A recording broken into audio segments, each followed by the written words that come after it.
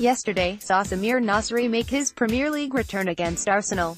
The Frenchman signed for the club after an 18-month ban for doping.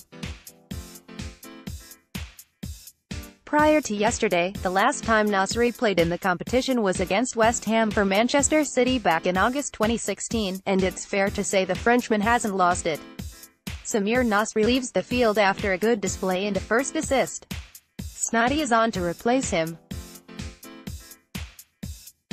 The game was decided by a Declan Rice goal in the second half and the young defensive midfielder deserves all the credit he's been getting, but at the same time he's been taking a lot of the attention away from the Irons' 31-year-old January import, and he was the man who set up the winning goal. Nasri still has a lot of promise and a lot to offer in English football, and he proved it yesterday. Manuel Pellegrini deserves all of the credit for making the move to sign the player after his ban ended, and after getting his first Premier League assist in a West Ham shirt, he will now be looking for his first goal in claret and blue when they travel to face Bournemouth next week.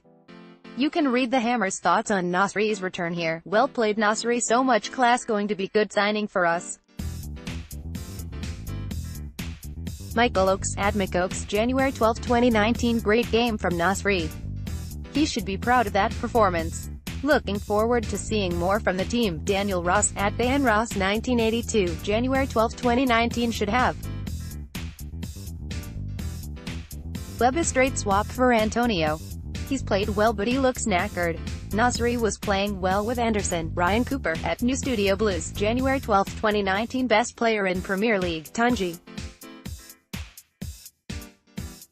It's over underscore, January 12, 2019 Nasri was quality. Didn't expect that, Ali at Ali.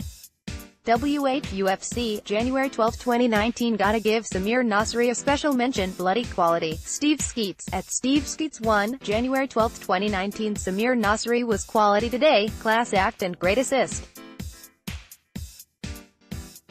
Fair play to him. I always said as long as he comes and gives 100% we will back him.